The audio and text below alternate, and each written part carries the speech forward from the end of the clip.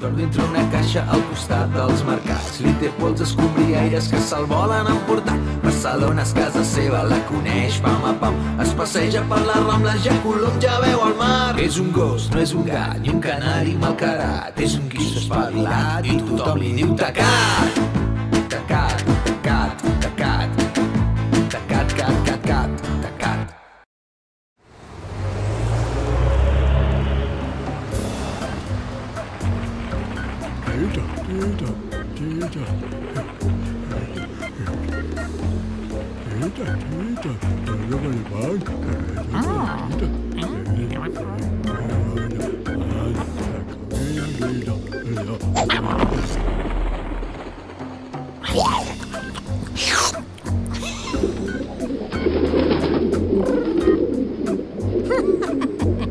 Oh! oh, oh, oh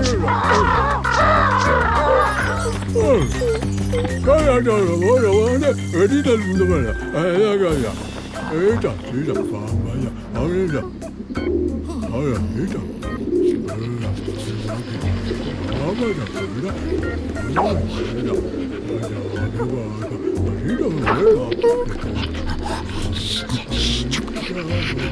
长。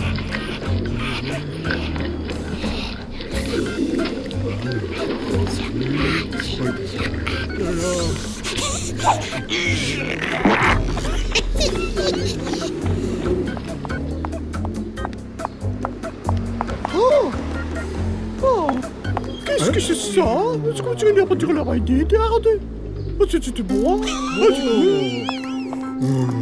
oh. oh.